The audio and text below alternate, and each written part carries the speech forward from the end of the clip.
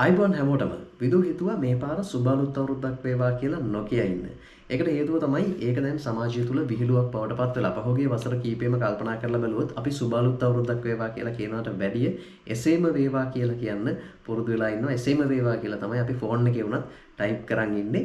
මොකද අපි දන්නවා මේක මේ විදිහට කිව්වට මේක අර මොකක් හරි කියන්න ඕනවට කියන දෙයක් මූනිච්චාවට කියන දෙයක් මේක ඇත්තටම මෙම කිව්වා කියලා වෙන දෙයක් නැහැ කියන එක පිළිබඳව අපේ හිත් ඇත්ත වශයෙන්ම දන්නවා. ඉතින් ඔය කියන තරම් අපි හැමෝම ප්‍රාර්ථනා කරපු විදිහට මේ අවුරුදු සුබ වුණා නම් අද අපේ රටට මේ විදිහට දුර්දාන්ත තත්වයකට පත් වෙන්නට වෙන්නේ නැහැ කියලත් අපි හැමෝම දන්නවා.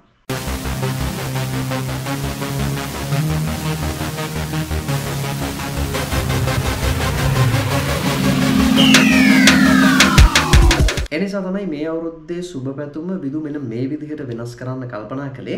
පහුගේ අවුරුදු දහයක විතර කාලය ඉඳලා අපේ රට සිස්ටම් චේන්ජ් එකක් ඉල්ලමින් ඉන්නවා. අපේ රටේ මිනිස්සු අපේ රටත් ඇයි යුරෝපය රටවල් විදිහට එහෙම නැත්නම් වෙනත් ලෝකයේ දියුණු රටවල් විදිහට අපිට වෙනසක් කරන්න බැරි. ඇයි මේ දූෂණය වංචාව කියන එක අපේ රටෙන් ඈඩ් කරන්න බැරි කියන එක පිළිබඳව පුළුල් විදිහේ කතිකාවක් සමාජය ඇතුළේ ගොඩනගමින් ඉන්නවා. ඉතින් ඒකේ සුවිශේෂී සන්ධිස්ථානයකට මේ වෙනකොට අපි ඇවිල්ලා ඉන්නවා. පහුගිය කාලේ බැලුවොත් අපි මේ සිස්ටම් චේන්ජ් එක වෙනුවෙන් යහපාලනයක් මේ රටේ ස්ථාපනය කළා. ඒකෙන් අපේ අරමුණු ඉෂ්ට වුණේ නැහැ. ඊට පස්සේ රාජ්‍ය නිලධාරියෙක් වෙච්ච ගෝඨාභය රාජපක්ෂ මැතිතුමන්ව අපි දේශපාලකයෙක් නොවන කෙනෙක් විදිහට ජනාධිපති පුටුවේ ඉඳලා ඔහුගෙන් මේ විදිහට සිස්ටම් චේන්ජ් එකක් බලාපොරොත්තු වුණා. මේ වෙද්දි ඒ බලාපොරොත්තු ඉටු වෙලා නැති නිසා තමයි මේ රටේ මිනිස්සු එළියට බැහැලා ගෝට ගෝහෝම් කියලා කියන්නේ. හරි.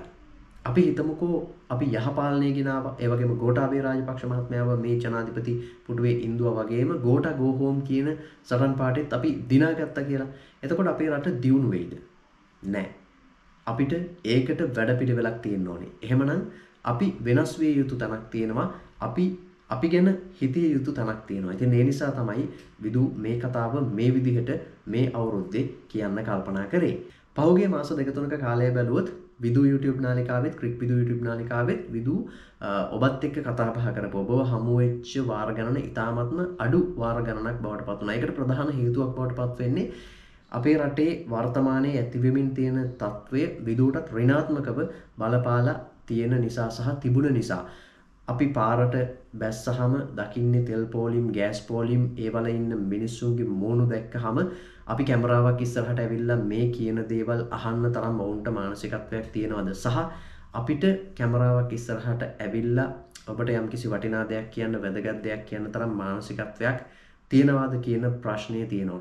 ඉතින් මේ නිසා ඇත්ත වශයෙන්ම කිව්වොත් විදු දුර්මුඛ වෙලා ටිකක් නෙගටිව් මයින්ඩ් එකකට ඇවිල්ලා පසු බැහැලා මොනවද කරන්නේ මොකක්ද අපේ රටට වෙන්නේ මොකක්ද අපේ රටේ අනාගතය මොකක්ද අපේ අනාගතය කියන දේ පිළිබඳව සෑහෙන්න කල්පනා කරමින් හිටපු කාලයක් තමයි පහුගිය කාලේ. ඉතින් මේක මට විතරක් නෙවෙයි ඔබටත් මේ විදිහටම දැනෙනවා. මොකද අපි උදේ නැගිටිනකොට අපිට තියෙන්නේ අවිනිශ්චිතතාවයක්. අද තෙල් පොලිමේ කොච්චර වෙලා ඉන්න වෙයිද? අපිට ගෑස් ටික ගන්න පුළුවන් වෙයිද? ගෑස් ඉවර වෙයිද? අපිට තියෙන ප්‍රශ්නය ගෑස් ගන්න තෙල් ගන්න සල්ලි හොයා ගන්නවටත් වැඩිය සල්ලි තිබුණත් අපිට ගෑස් ගන්න පුළුවන් වෙයිද තෙල් ගන්න පුළුවන් වෙයිද අපිට අවශ්‍ය බේත් ටික ගන්න පුළුවන් වෙයිද අපිට අවශ්‍ය ආහාර ටික ගන්න පුළුවන් වෙයිද මේ වගේ ලොකු අවිනිශ්චිතතාවයක් තමයි මිනිස්සුන්ගේ හිත්වල තියෙන්නේ. ඉතින් මෙන්න මේ අවිනිශ්චිතතාවයට තමයි රටේ පාලකයන් පිළිතුරු දිය යුත්තේ මේ අවිනිශ්චිතතාවය නැති කරන්න. මොකද මේක මේ තියෙන නෙගටිව් ෆීලින් එක අපේ රටට අපිට කොහොමද ගිහිල් අපි රස්සාාවක් කරන්න? මේ රටේ සාර්ථකත් වෙන මේ රට ඩොලර්ගෙන් හෙමනත මේ රට ශක්තිමත් කරන්න තමන්ගේ රස්සාාව කරන මනුස්්‍යයා මේ අවිනිශ්චිතතාවය මැද්දේ කොහොමද රස්සාාවක් කරන්න? අනාගතය ගැන තියෙන අවිනිශ්චිතාවයක්ත් එක් අපිට වර්තමානය ගැන කලකිරීමක් තියන ඒවගේ මතීතය පිළිබඳව දවේශයක් තියෙනවා. මේ සියලුම දේවල් එක් අපි පිළිගන්න ඕන කාරණය තමයි අපි අකමැත්තෙන් වුණොත් පිළිගන්න ඕන කාරණය තමයි ඉදිරි වසරක කාලේ හෙමනත්තං වසර එක හමාරක කාලය. අපිට මීටත් වඩා අමාරු කාලයක් වෙන්න බොහෝ දුරට ඉඩකඩ තියෙනවා. හැබැයි ඒ අමාරු කාලය අපි හරියට පහු කරගත්තොත් අපිට අඩුම තරමේ ආපහු හිටපු තැනට යන්න පුළුවන් වෙයි. එතනින් එහාට අපේ රට අපිට ඉදිරියට අරගෙන යන්න පුළුවන් වෙයි. මම දියුණු වෙන්න නැතුව කොහොමද රට දියුණු වෙන්නේ? මම දුර්මුඛ වෙලා මොකුත් නොකර හිටියොත් මං කරන්න ඕනි දේවල් හරියට නොකොළොත් ඒක අනිත් අයත් ඒ විදිහටම කළොත් අපි කොහොමද ඉදිරියට යන්න මොකද අපි කලින් වැඩ කලා වගේ දෙගුණයක් මහන්සි වෙලා වැඩ කරන්න වෙනවා මේ වැටිලා තියෙන තත්වයෙන් උඩට එන්නන. අවසානයේදී මම මටම කියාගත්ත දේ තමයි මේ අමාරු කාලය තුළ මම දුර්මුක වුණොත් මම ශාරීරිකවත් මානසිකවත් ඒ දුර්වලතාවය මට බලපානවා. මම වැටෙනවා කියන්නේ අපි වැටෙනවා අපි වැටෙනවා කියන්නේ රට වැටෙනවා. ඒ නිසා මට මීට වඩා දෙයක් කළ යුතුව තිබෙනවා කියන එක පිළිබඳව මේ අලුත් අවුරුද්දේ ටිකක් වෙනස් විදිහට හිතන්න විදූ කල්පනා කරා. ඉතින් මේක පිළිබඳව හොඳ උදාහරණ දෙකක් මං ඔබට දෙන්නම්. එකක් තමයි ඉන්දියාව අනික තමයි ජපානය. පරමාණුක බෝම්බ ප්‍රහාරයකට ලක් වෙලා සුන්නත් දූලි වෙලා ගියපු ජපානය අද මේ වෙනකොට ඉන්න තැන. සහ ඉන්දියාව ඉන්දියාව තුළ දූෂණ වංචා හොරකම් නූගත් දේශපාලකයෝ මේ අපේ රටේ තියෙන හැමදේම අපේ රටත් වඩා වැඩියෙන් ඉන්දියාව තුළ තියෙනවා. හැබැයි ඉන්දියාව ලෝකේ ශක්තිමත්ම ආර්ථික අතරේ ඉස්සරහට ඇවිල්ලා තියෙනවා ලෝකයේ බලවත්ම ආර්ථිකය හිමි රටක් බවට පත් වෙලා තියෙනවා. ඉතින් මේ රටවල් දෙක පිළිබඳව කල්පනා කරනකොට විදූ දකින්න පොදු සාධකයක් තියෙනවා ඒ තමයි ඒ රටවල් වල මිනිස්සුන්ගේ හිතේ මේ රට ගැන තියෙන අවංක ආදරය සහ අවංක හැඟීම අපි ගත්තු ජපානය කොහොමත් විනයවත් රටක්. හැබැයි ඉන්දියාවේ මිනිස්සු ජපානයේ මිනිස්සු තරම් විනයවත් මිනිස්සු නෙමේ හැබැයි ඔවුන්ගේ නිදහස් සටන විසින් ඔවුන්ට ලබාදීපු ඒ රට පිළිබඳව ඔවුන්ගේ රටේ නිෂ්පාදන පිළිබඳව ඔවුන්ගේ රටේ තියෙන දේවල් පිළිබඳව හැඟීමක් ඔවුන්ට තියෙනවා. ඔවුන් පිටරට දේවල් පිළිකුල් කරමින් තමන්ගේ රටේ දේවල් අගය කරනවා. රට පිළිබඳව ඔවුන්ට අවංක හැඟීමක් තියෙනවා.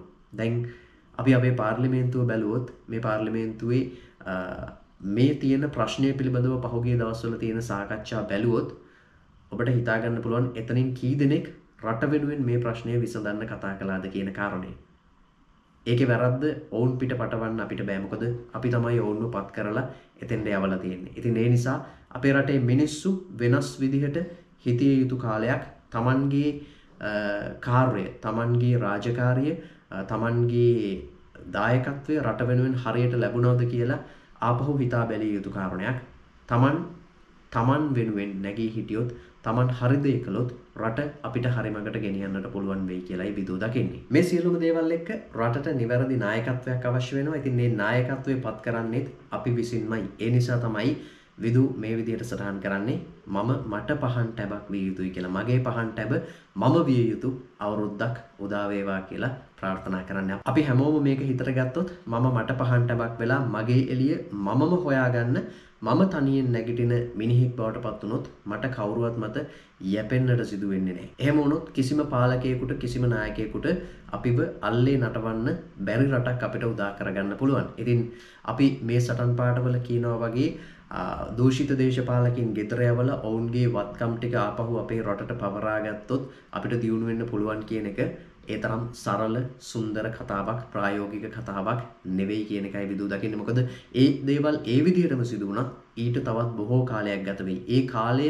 ගත වෙන තුරු අපි අපේ රට පවත්වාගෙන යා යුතුයි. ඒ සඳහා අපිට වැඩ කරන්න වෙනවා දුෂ්කර කාලයක් පහු කරන්නම වෙනවා.